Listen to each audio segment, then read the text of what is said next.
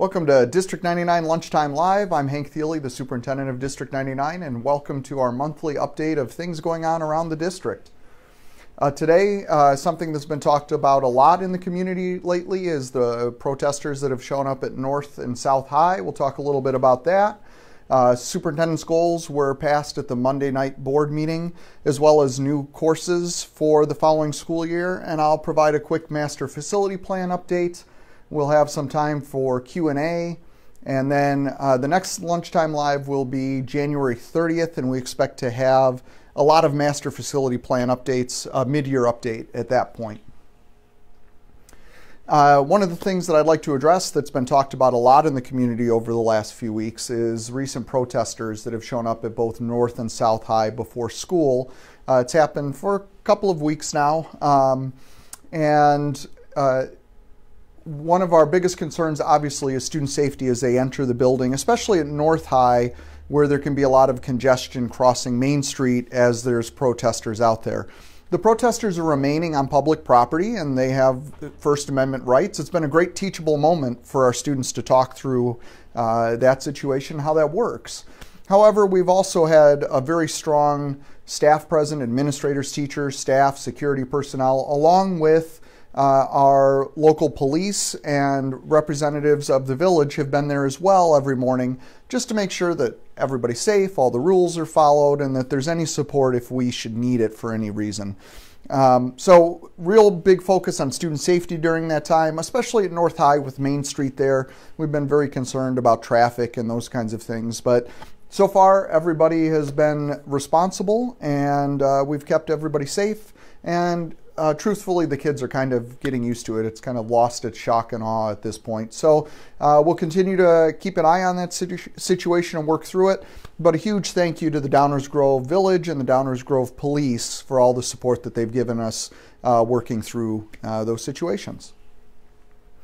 Uh, Monday's board meeting, uh, superintendent's goals were passed for this year. Earlier this year, we had the district goals that were approved.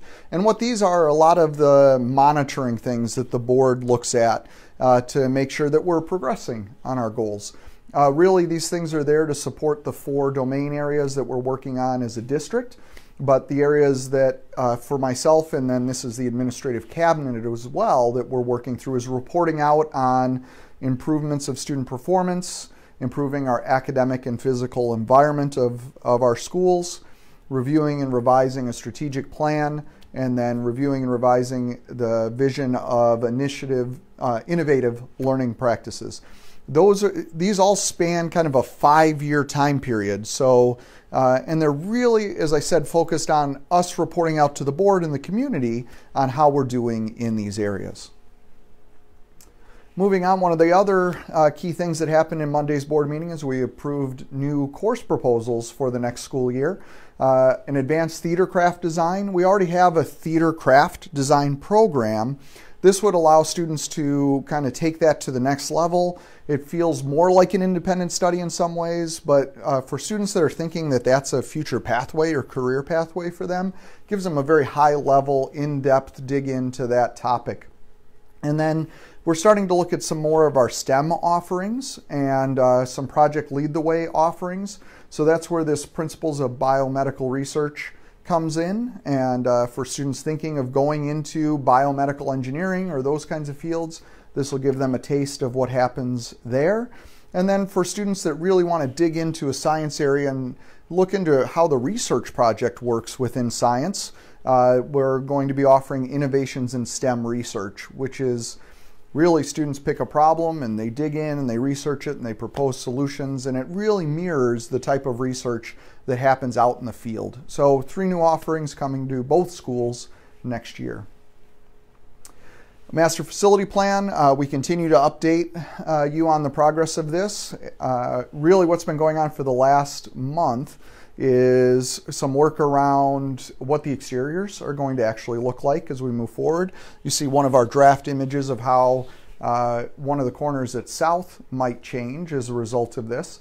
Um, all of these plans are going to Downers Grove uh, Planning and Zoning, and then over the next few months we'll work through those processes as well. Um, we're looking at the Learning Commons, which is that biggest change in the middle of our schools that impacts our libraries. And a lot of the moving classrooms and our classrooms that are being most impacted as a result of this are some of our classrooms that are targeted for some of our most high need students, for our multi need students and our life skills students. Uh, we're really focusing on those classrooms first to provide them the physical environment that they need to help support them better.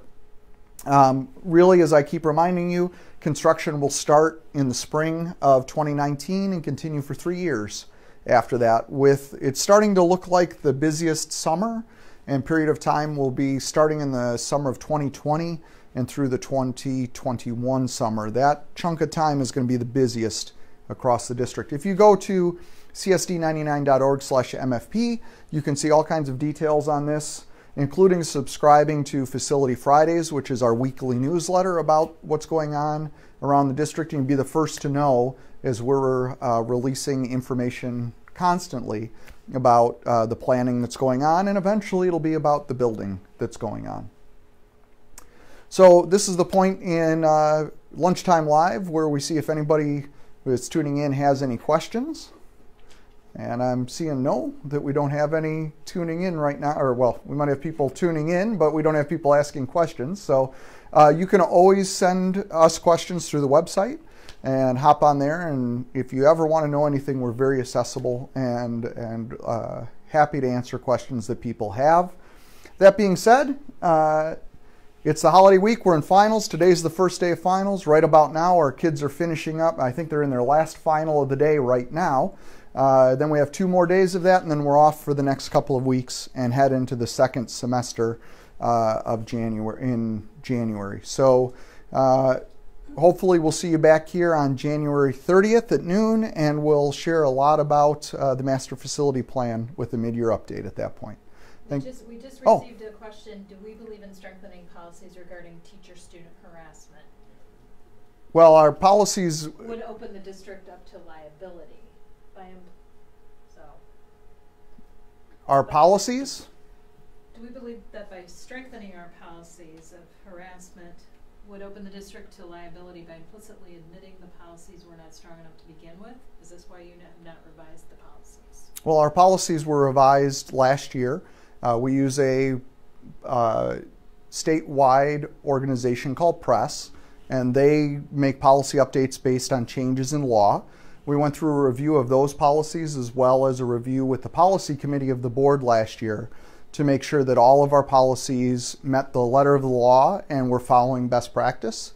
And uh, there were revisions made last year to come in line with the law, um, and, and they have been.